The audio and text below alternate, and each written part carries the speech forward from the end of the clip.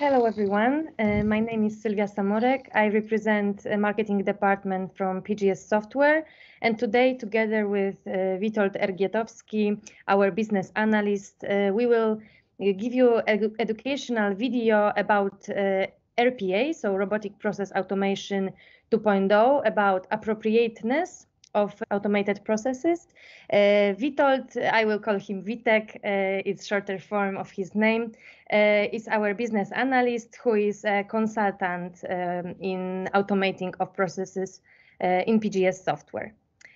In the description of this video, you can find link to our article about what processes can you automate and what benefits you get from automating your processes uh, in your organization. Uh, Witek, could you tell me more about ethical dilemma that is um, around this topic? Because we sometimes hear that um, automating human work might cause them losing their job. What do you think about that? business process automation does not always or necessarily equals layoffs uh, through FTE reduction. Um, it can be perceived this way, um, and people often think about and tell us about what could happen, what will happen with with me, with my work, uh, when the process I'm currently handling will be automated. You can say that re replacing humans with robots um, allows to to focus more on processes themselves, to uh, optimize them, to uh, focus on uh, how to simplify them. And um, great benefit uh, is also that people can more focus on uh, um, their professional development in, in, in a way that they may start thinking more about more creative tasks, mm -hmm. not to uh, spend time on boring, repetitive tasks. Uh, at the same time, um, RPA-related uh, roles like business and system analysts, developers, and SMEs, when they are engaged in RPA uh, automation, they can focus on not what to do within a process, but how to do within a process, uh, which gives also a good perspective for all kind of improvements. So they can focus more on how to improve improve the organization how to improve the process uh, and it's not necessarily connected with um, with the layoffs uh, yeah that sounds great. And this is actually how i also see that. The question is if uh, every process can be automated? Mm, generally speaking no. Uh, at least not at this time being. So of course, when thinking about RPA, uh, you can say RPA involves and becomes more and more capable of handling uh, more and more complex tasks, demanding tasks, um, till now reserved only for people, for humans. Uh, for example, uh, natural language processing, um, picture recognition, some activities around that can be implemented by, for example, artificial intelligence solutions can be combined with RPA, but not each um, uh, back office, for example, process can be easily automated. So you can't say you can uh, automate everything. There are better and and and uh, worse um, examples. It depends on the organization, infrastructure, solutions, and ability for IT and the business to cooperate. Uh, because RPA um, automation are projects that are not focused on IT or uh, on business solely.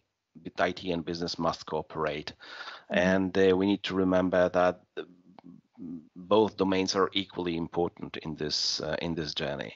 It also can depend on uh, what we want to achieve by automating uh, the process, so we can speed up, we can avoid mistakes, um, and how much we want to invest and how much time we want to devote for the automation.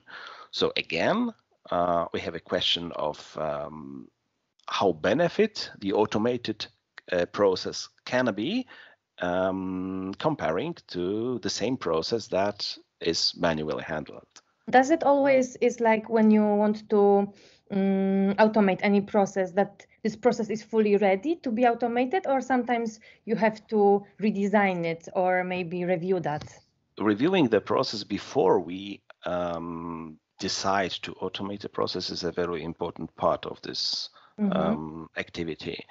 Uh, as I said, not all processes are equally well prepared or suitable for automation, you may say.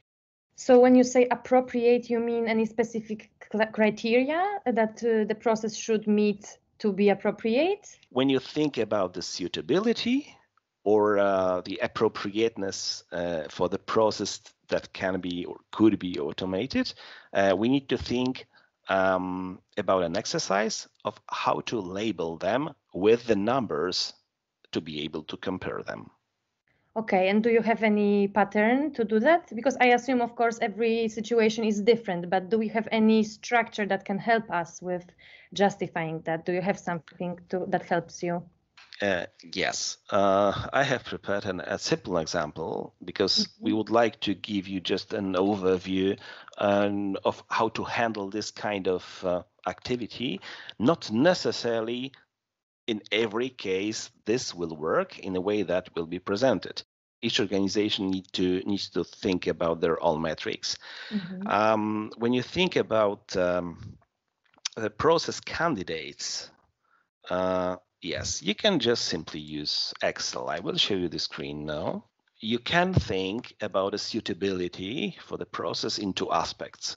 How suitable they are how appropriate it is actually to automate them and what is possible uh, benefit from automating them. It means that when you can see um, here we have three examples and mm. we have some numbers that that I will uh, we, we will try to to show. Um, the simplest process, so the, the, the more simple process is a better uh, candidate the more data you have to process, mm-hmm. the better, and uh, the more stable uh, your environment is actually. So, small number of exceptions, for example, you can experience. Uh, you, you, can uh, experience that these uh, are better uh, candidates. So when you have these metrics and you, um, let's say, in in a scale from one to five you can describe of how, how simple uh, a process is. Um, and uh, then you have a, let's say a, a, a value of suitability. Uh, so here this is just an average. It, again each and mm-hmm. every uh, organization need to think about how they can be or, or should be in, in, in their context um, calculated uh, this is just an example again. So if you find a very simple, uh, very simple case, like, um, for example, simplicity is high, volume is relatively high, mm-hmm. and the process is stable, let's say give them four. So mm-hmm. uh, our suitability will be 4.333 with this formula. Again, with the second example, when you think about template filling, automated uh, automated process. It's uh, well a bit more complex. Let's give them three. Uh, the volume can be also high. Let's give them the same uh, value, and uh, it can be, let's say, a bit less stable than uh, the first case. So we have another value. Mm-hmm. And by volume, you mean amount of data we base this process on, uh, automation on, right? So that it has a lot of information to to uh, automate that process, right? Yes, the volume is about the, the amount of data to be processed in a whole process. The the whole process um, may be understood as a, a sequence of steps, mm-hmm. um, and uh, it consists of iterations.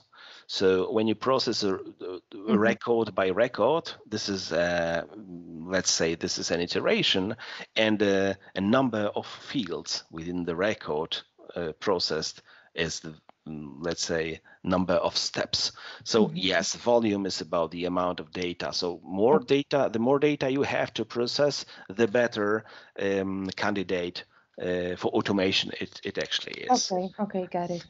And on the other hand, we need to think about uh, how beneficial the process is. So when you think about the benefit, you need to take into account how complex the process is. So how much time would that take to implement, to automate the process, to program the robot, to teach the robot to, to handle the process. So mm -hmm. let's yeah. say we have a uh, we have a cost of 10 units. I'm not referring to any currency here, but just uh, just a value. Um, and um, the, the more savings uh, we expect to have once the process is automated, the better. So let's say, just uh, as an example, that uh, the savings here will be, I don't know, 30. So the benefit for this is just a um, savings minus costs. Mm-hmm. Exactly the same um, case uh, as the template filling process that we have here is a bit more complex. It will take more time to implement it, uh, mm-hmm. to automate it, and the savings, let's say they are equally good, which means the benefit over time is 10. Um, what we can see here, it's not important what are the units. It's mm-hmm. important mm-hmm. to use the same scale for all the processes to be able to compare them.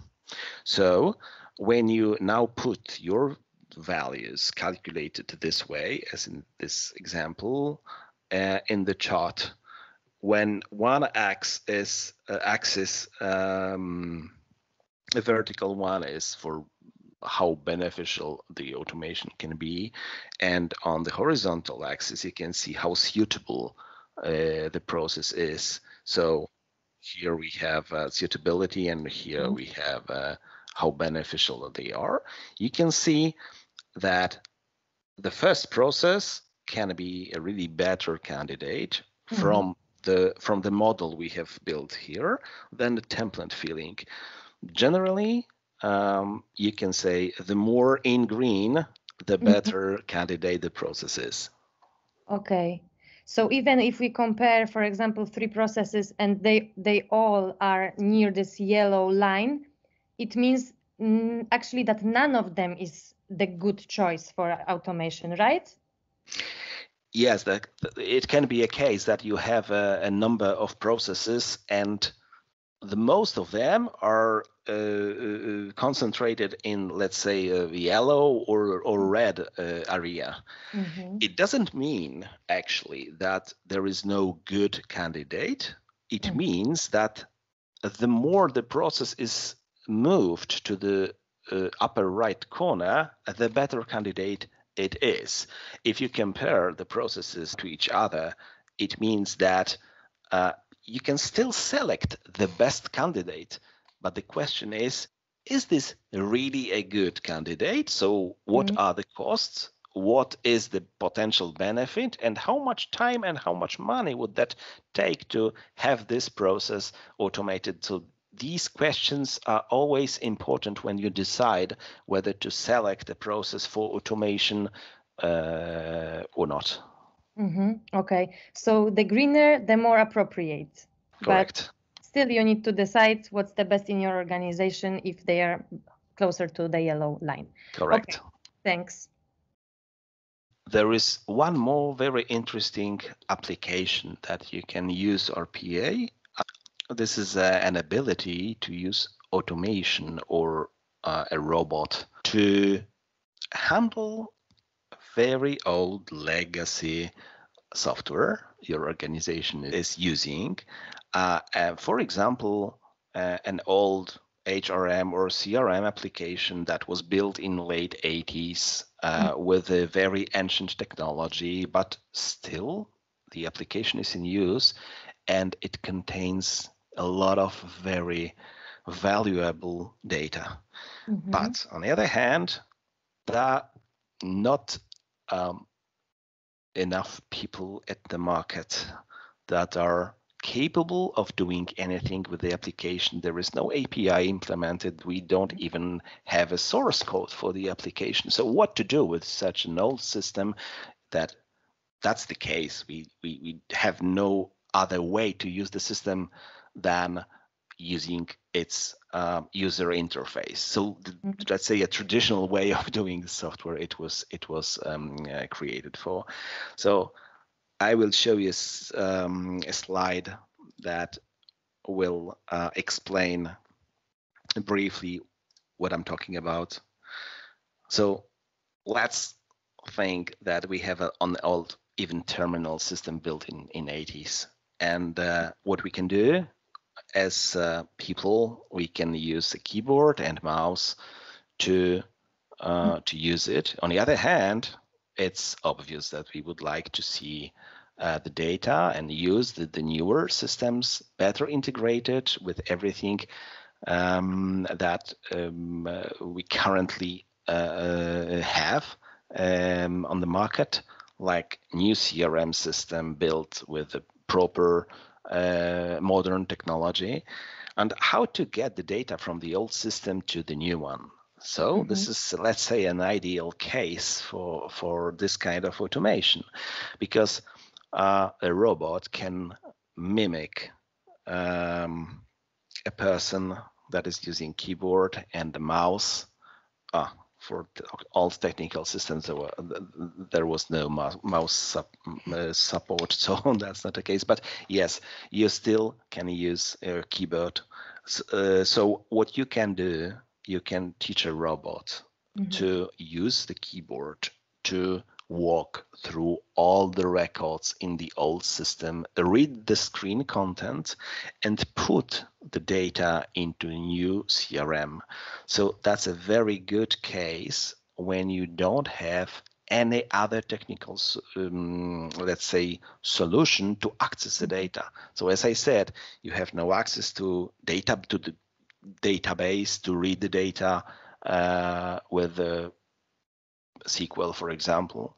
Uh, the only way is to use a human, um, a, let's say a person, a physical uh, a person to use UI to read the data and to hmm. uh, to type into new to put into new um, solutions. Um, it can be really uh, let's say, uh, a painkiller for, for for this kind of um, mm, problems. That sounds great. Uh, I believe it would be just one time um, automation, then they wouldn't have to repeat that. So thanks again. And to sum up for our uh, listeners, uh, if you want to choose the most appropriate process to automate it, you need to remember about uh, two dimensions. First one is to have this beneficial, so compare costs to savings, and to have it suitable. Uh, the second dimension, suitability. And on this dimension, you need to remember about uh, having this process with high volume, so, so based on big amount of data, stable and simple. And this is basically the summary of appropriateness of the process. Um, Witek, would you like to add something at this uh, stage? Yes, I think that the most important part of, of, of all the journey, um, automation journey uh, for the organization is to really carefully select the proper processes, suitable processes for the automation. Uh, it's very important to understand the consequences uh, from both perspectives, ethical and practical. Mm-hmm. Um, and, well, to be prepared to justify it from the business and economic perspective. So, what are the costs? What are potential benefits? Mm-hmm. Uh, and value is not only just in money when you think about automation. Mm-hmm. Uh, so to select proper processes uh, and be aware of of this suitability factor, regardless of how the organizations will build the, the suitability model mm-hmm. uh, is important. And this is um, an activity that needs to be done carefully. this is a really uh, responsible task. Uh, you need to remember that you can select a process that is potentially very beneficial. On the other hand, it will become very, very complex to be implemented. So from this perspective, it it may happen that at the end, it will not be the best uh, candidate. Mm-hmm. Yeah.